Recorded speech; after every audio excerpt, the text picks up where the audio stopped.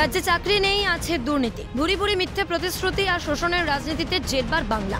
বঙ্গের হাল ফেরাতে সরব বাম শিবির। যুব সংগঠনকে সামনে রেখে ব্রিগেডের ময়দান থেকে মূলত সেই বার্তাই দিচ্ছে বাম। হাই ভোল্টেজ রবিবার মূলত প্রতিবাদের সুরে মিশেছে উত্তর কলকাতা থেকে দক্ষিণ কলকাতা।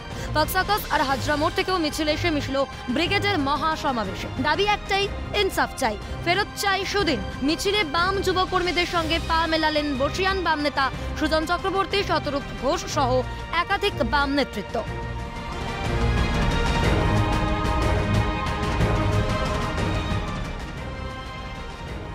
রবিবার হাজরা মোড় হয়ে ব্রিগেডের ময়দানে বিরাট মিছিল। যে মিছিল থেকে শাসক দলের একের পর এক দুর্নীতির প্রসঙ্গ টেনে মুখ্যমন্ত্রীকে তোপ দাগতে ছাড়েননি বাম নেতা শতরূপ ঘোষ। আগামী দিনেও শাসক তার চরিত্র না বদলালে পুলিশের চোখ রাঙানিকে উপেক্ষা করে মাননীয়ার চোখে চোখ রেখে জবাব দেবে এই বাংলা হুঁশিয়ারি বাম যুব নেতা। কদিন পরে চোর মমতা, চোর অভিষেকের বাড়ির সামনে দাঁড়িয়ে দেওয়া হবে এবং সেটা খালি ডিওয়াইফাই বলে না, গোটা বাংলার মানুষ দেবেন এখনই দিতেন, পুলিশের ভয়ে, পুলিশের চোখরাঙানি দেখিয়ে কিছু মানুষকে এখন অব্দি ভয় পাইয়ে রেখেছেন? যে দ্রুত সেই ভয় ভাঙছে, ওই চোর পিসি ভাইপোকে কেউ আর দুদিন পরে ভোট দেবে না, চোরদেরকে চোরদের বাড়ির দরজার সামনে দাঁড়িয়ে বলা হবে।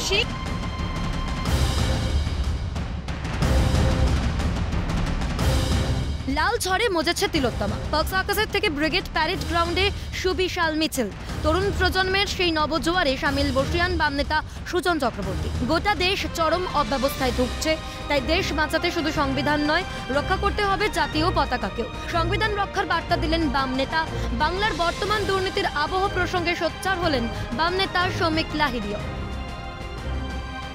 আমাদের দেশের স্বাধীনতা সংবিধান এবং মূল মর্মবস্তু তাকেই যখন ভেঙে দেবার চেষ্টা করা হচ্ছে তখন বারে বারে আমাদের সংবিধানের দিকে ফিরে তাকাতে হবে জাতীয় পতাকাটাকে আরও আঁকড়ে ধরতে হবে কারণ আমাদের দেশ এবং দেশের সংবিধান এটাকে ধ্বংস করার চেষ্টা হচ্ছে। এরাই তো ভোট লুট করে যাতে টাকা লুট করতে পারে।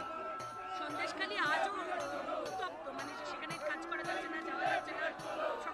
বরাবরই সন্দেশখালিতে মনোনয়নপত্র জমা দিতে গিয়ে আমাদের পার্টির লোকজন মার খায়নি কাউকে মনোনয়নপত্র জমা দিতে দেওয়া হয়েছে? পুলিশ প্রশাসনই তো এই অপরাধীদের সঙ্গে মিলেমিশে একাকার। খাদ্য, বস্ত্র, বাসস্থানের দাবি এবং ইনসাফ চেয়ে ব্রিগেড সমাবেশ ডিওয়াইএফআই এর। শহরের একাধিক জায়গা থেকে ব্রিগেডমুখী মিছিল রবিবার সকাল থেকে ছিল চোখে পড়ার মতো। মিছিলে পা মিলিয়েছিলেন একাধিক বাম নেতৃত্ব। যাদের বার্তায় ছিল না কোনো ছলচাতুরি। সেই বার্তা প্রতি মুহূর্তে মনোবল জুগিয়েছে বঙ্গের যুব সমাজে। পঞ্চাশ দিনের ইনসাফ যাত্রা শেষে ব্রিগেডে আয়োজিত বাম যুবদের এই সমাবেশ লোকসভা ভোটের আগে কি বাড়তি অক্সিজেন যোগাবে বামপন্থীদের? এখন সেটাই দেখা ক্যামেরায় মদন সেন ও লেসন লোধের সঙ্গে অভিরূপা হাজরা ও অভিরূপা সাহার রিপোর্ট, ক্যালকাটা নিউজ।